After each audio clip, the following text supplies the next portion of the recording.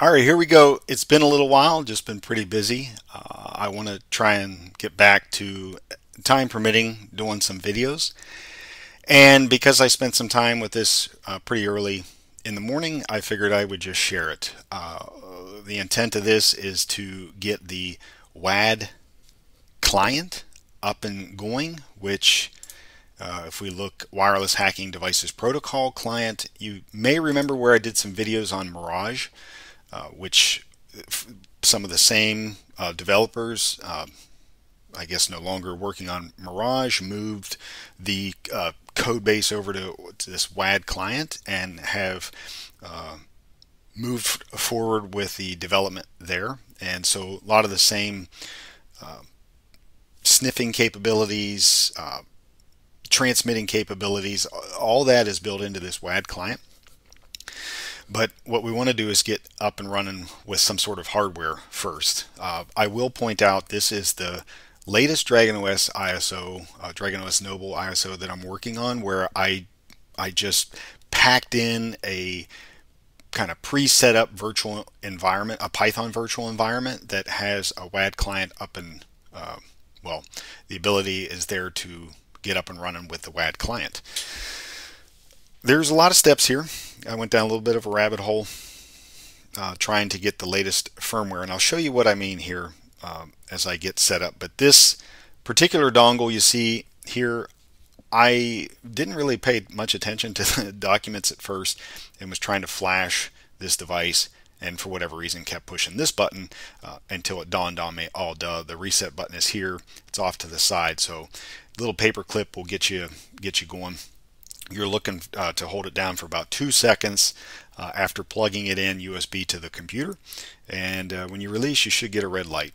So I'll, I'll walk you through this and uh, by the time we're done uh, we should be able to use this dongle. So I have it plugged in USB at the moment and I'm gonna hold down the reset button for two seconds. It flashes green once really quick.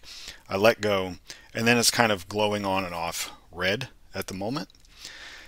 And so we should be set up there and uh, again apologize for jumping all around but this will make sense. I'll try and uh, go a little slower here.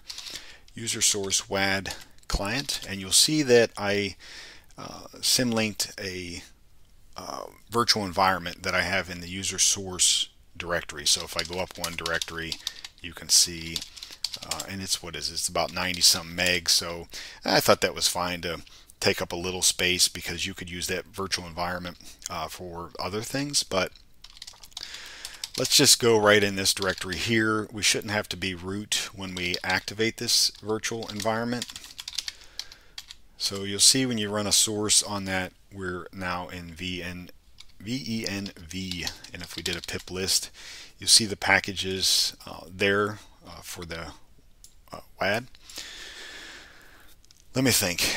Um, and once you activate this, you're going to get access to a few uh, additional tools like WAD up. And let me think. So no devices uh, found at the moment. That dash H didn't really do much, but uh, because this device is in uh, bootloader or DFU mode. So if we look on the WHAD client documentation here, um, you click on available, read the docs. Very detailed, just like with Mirage. There was a lot of detailed documentation here. I did include offline documentation based on the current release.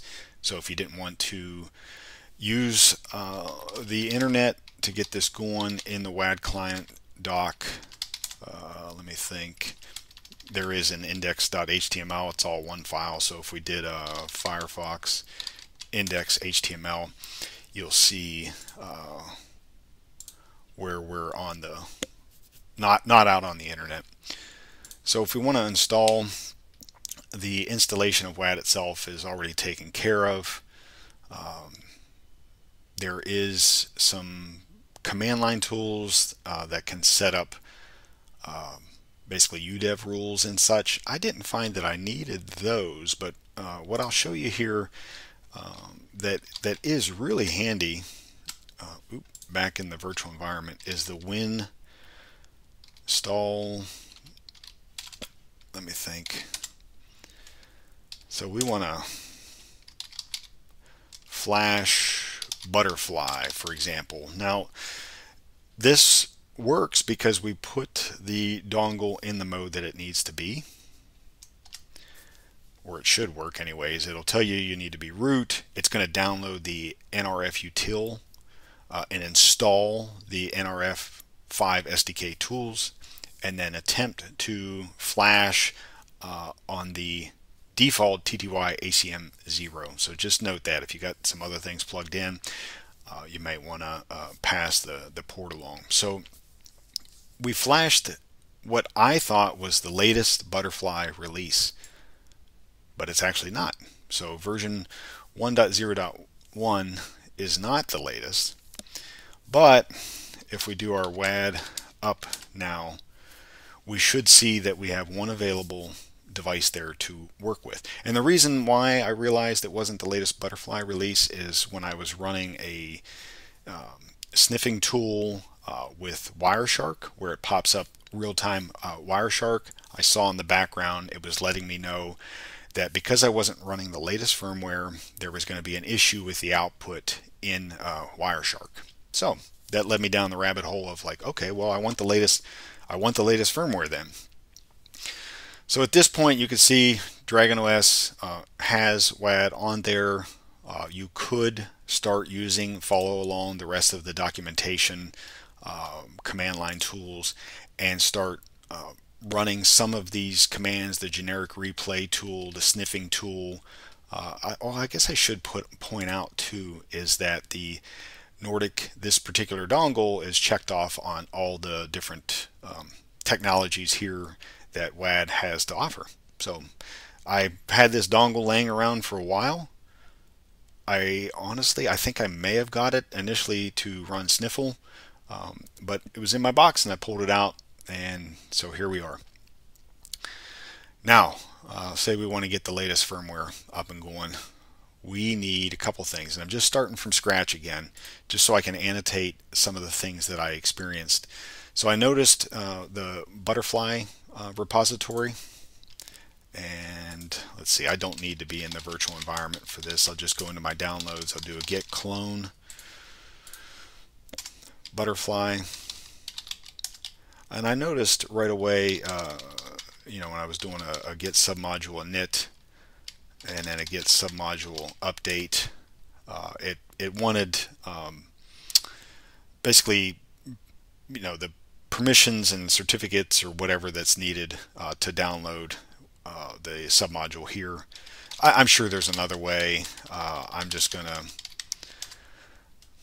to do this manual. Uh, so if I click on here, should take us over to the exact um, commit and I'll do a uh, git clone of that directory within Butterfly so just to kind of mimic if I had the uh, grab the submodule and then I'll do a git uh, checkout of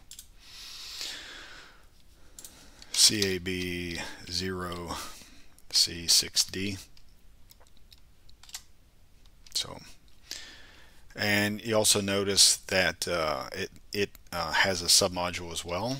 And so this one was fine. Git submodule init, git submodule update. And so that'll pull that in. Now if you go to the top level directory and you try to run make, it's immediately going to say, because the make file, if you open it up, it's pointed to use this particular SDK and by just Google, you know, this particular SDK, I come along the, you know, first thing was the mirror of it. Now you could of course change the, the make file, obviously, um, but I'm going to go up two directories into just my home folder. Now if I clone that down, uh, we do have the code that we need.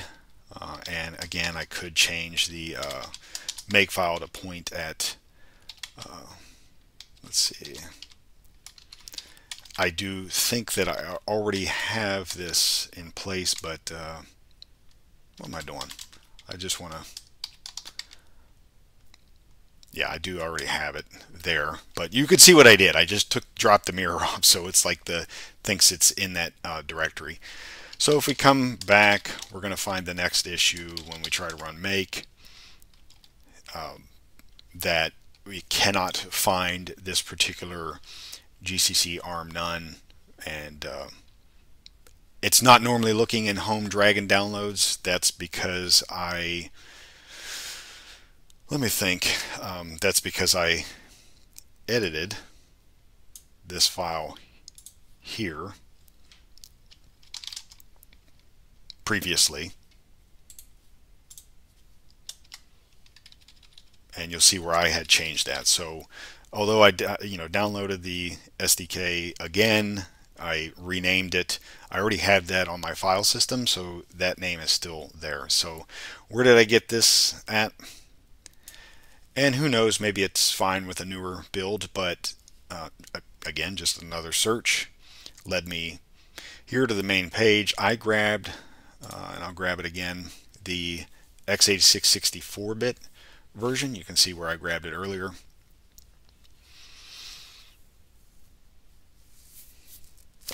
Probably a, a good part of what I'm showing you here at some point won't even be needed because the WHAD client uh, Butterfly release would just be obviously updated and available. It's just the one that's available right now is not the latest.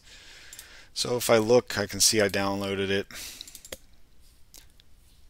You can use command line to uh, extract it. I, I, just just doing it like with the uh, GUI interface here.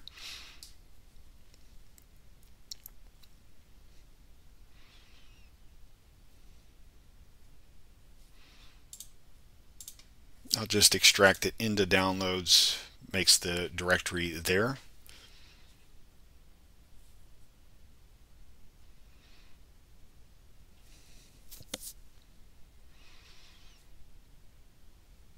Now I'm going to put the dongle back in the mode that's needed to flash it.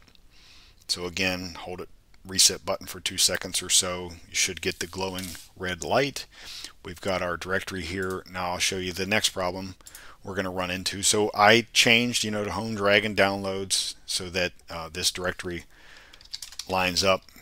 Now if I run a make send command, which should make everything. Oh, oh, one other thing, because the make file expects a uh, dist directory it'll fail if we don't make that directory. So now say I want to make, uh, say I just want to run make. Make will run and compile things. Uh, it'll ultimately end up completing because we make that we made that uh, dist directory, but I want to flash uh, the device from this tool. To do that, you'll, you'll see the other error that's going to pop up as soon as this finishes.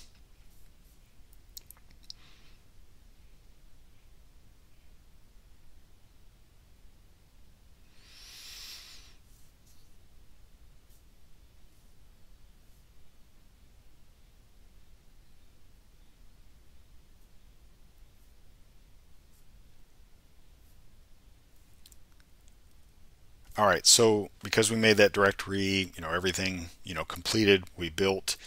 But what I want to do is run make uh, send, I believe it is. But you'll see the error that we're going to get. It talks about the NRF uh, utility uh, missing and, and such.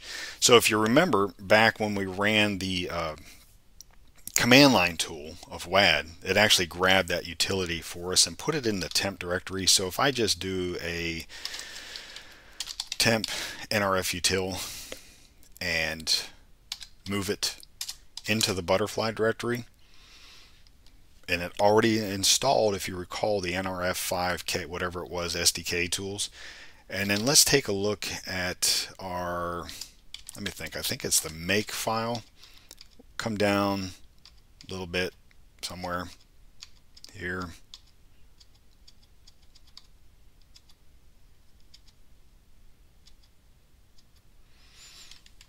and we get to the first instance here, I'm not really caring about the MDK dongle. And so, you know, because I don't have it actually like installed with pip or whatever, I'll just put the dot slash in there so that in the current directory, it's going to run that tool and generate and flash the device. So control O, save that, and control X. So now if I run my make send, it is going to, or it should, flash the uh, dongle. You should see progress there. We have it in the mode that it needs to be in. Now we're going to have, instead of the uh, 1.0.1 release, if we look back at our commands, let me think. Let's look at our documentation, wherever I have that. Let's look at the command line tools. You can see we want to use the whadup.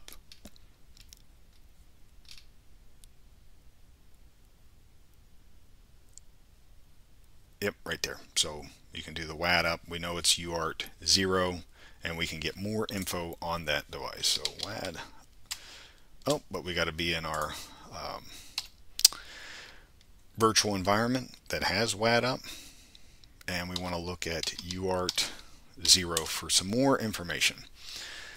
You can see all what is supported list of commands, but the big thing we're looking for is the version number. So now we're on 1.1.0.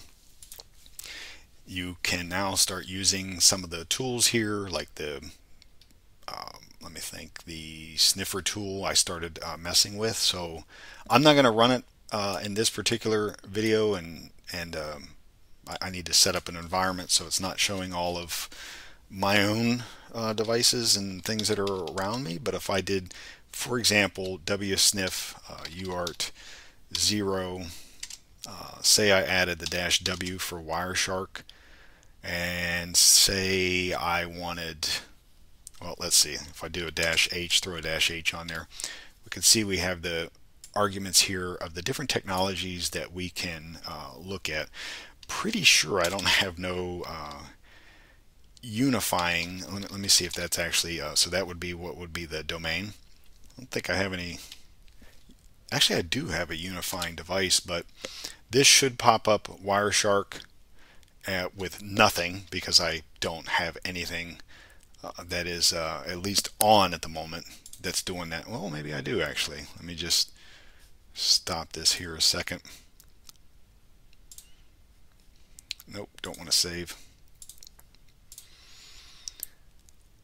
Well, uh, he, yeah, so I'll, I'll, blank some of that out, but um, you can see that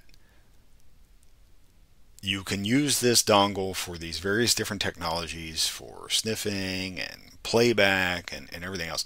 In a later video when I have a, a a better environment set up, I will try to dig in a little bit more and show some of the tools chained together. What's really exciting is uh, about the possibility of more uh, hardware being supported by this.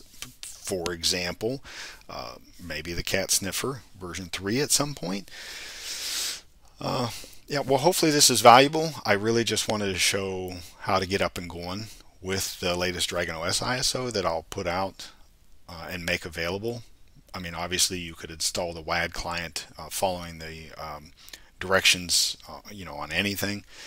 Uh, but I just wanted to make it easy, and I also, because the latest firmware is not currently compiled, I'm just making notes of how I built that firmware. Yeah. All right. Well, have a good one, and thank you.